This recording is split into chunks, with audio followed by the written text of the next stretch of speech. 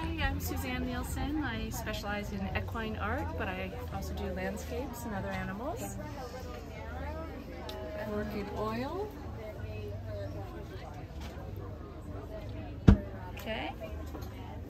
So, And I can be reached through my website, which is www.artequine.com.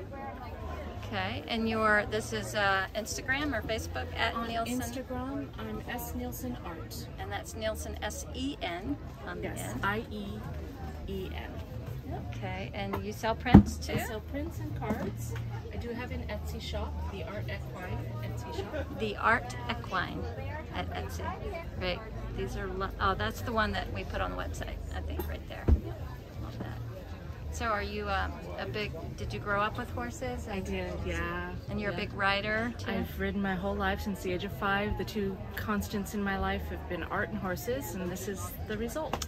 Excellent. Well, thank you for. Do, and do you sell in any galleries, or do you just? Not at the moment. Um, I just do my own independent sales. Um, I do have a few of my small paintings on Etsy, but primarily prints and cards, that kind of thing. Very good. Thank you. You're welcome.